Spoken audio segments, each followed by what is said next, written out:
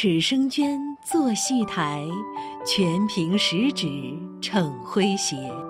一口说尽千古事，双手舞动百万兵。二十八个字，说尽了皮影的前世今生。在徐汇区康健街道，有一支桂林皮影戏班，戏班成员都已迈入古稀之年。但他们仍然坚持每周为观众演出，皮影周周演，也让这些老艺人经常相聚在一起。康健桂林皮影，历经百年，已传至第四代，沈龙刚、沈明全。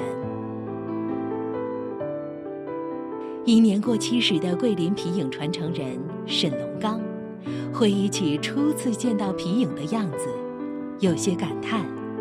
也有些惘然。小小的时候，我记得大概好像是五六年，五六年嘛，应该我是十一岁，对吧？那是我们村上演出的那个岳飞传，我们这些小人、小朋友嘛，小时候嘛，也喜欢看看连环画。那时候连环画一般的这个历史故事很多的，岳飞传啊，水浒呀，还有什么杨家将也有。《封神榜》也有，所以这个皮影戏我们一看就懂了。儿时的经历让皮影戏牢牢地印在了脑海中，直到沈龙刚真正开始学习皮影技艺。真正接触的皮影是七七九年，七九年，我记得那时候有一个话剧演员叫杨华生，他写了一篇文章叫《抢救民间的艺术》。这个其其中呢也包括皮影、木偶啊什么的。因为一篇文章的触动，沈龙刚毅然开始了皮影戏的学习。但时代的变迁却让皮影戏起起落落，一度濒危。说起曾经的皮影，沈龙刚止不住的叹息：这个皮影这个是失去了，对吧？帝王将相啊，才子佳人啊。都是赶出历史舞台了，不允许演的。这个皮影们，道具也这个是失去了，都烧掉了。沈龙刚的脸上满是遗憾与惋惜。作为康健桂林皮影班的领军人物之一，沈明全只因一次相遇，便与皮影结下了不解之缘。呃，我学这个皮影戏是二零零六年的时候开始吧，那时候还在上班，没有退休啊。是我的呃姑父徐胜林，他这个戏班子的班主，他跟我说：“你退休了，好好的来学学我们皮影吧，这是个非遗项目，现在接班人也很少。那时候呢，我也兴趣很高的。”我就答应了，那是两零零六年。当时沈明全虽已年近六十，但依然勤勤恳恳地练习基本功。最开始嘛，学音律，皮影的音律，二胡啊、笛子啊，各种音调啊，怎么着，曲调熟悉。后来嘛，要我去，要我再学这个表演，啊，所以说呢，一慌呢。也已经到今年也十三年了吧，过去了。他们将数载时光投入到皮影传习中，又用半生磨砺与沉淀。沈明全说：“演皮影，也就是演绎人生。就是我们康健街的桂林皮影班的特色，是老的戏戏本子连续演的，演这些古老的古书当中，也是宣传着啊。”仁义礼智信，这个道德，做人的道理。已迈入古稀之年的他们，仍然没有停止脚步。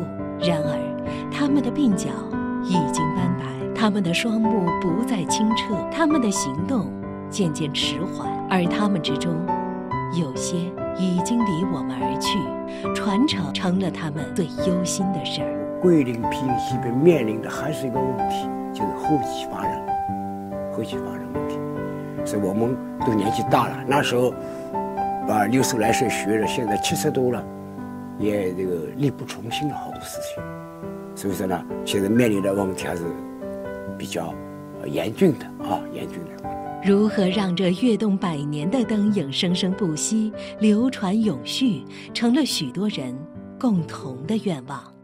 二零一八年，康健外国语实验中学皮影社的成立，让我们看到了传承的曙光。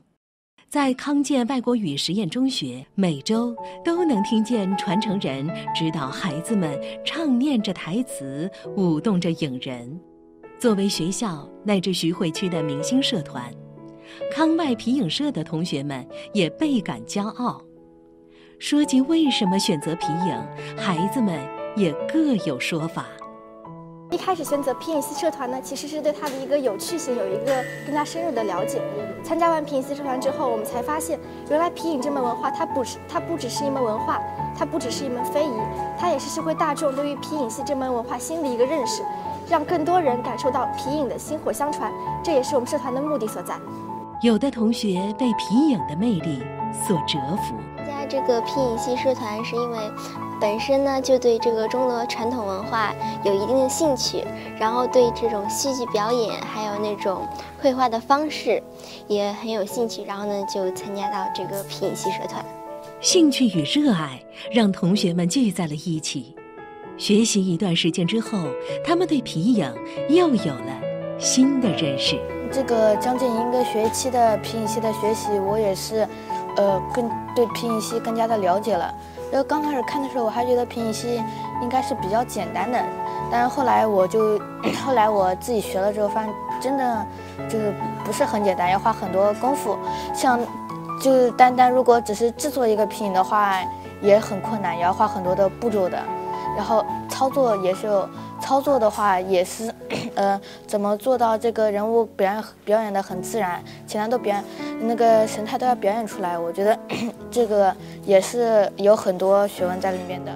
的确，要学会皮影表演技艺不是一件易事，所以两位老先生教授孩子们时总是一丝不苟。在同学们的眼中，老先生们又是这样的。那个沈老师呢，就是。嗯，怎么说呢？有些时候也是很严厉的，但是平时嘛也是比较可爱的，就就算是又可爱又严厉的一个老师吧。他虽然就是挺严厉，但是有时候就是就是很耐心的就会帮我们一遍一遍的，就是指指正，就是我们也就是做的欠缺的地方。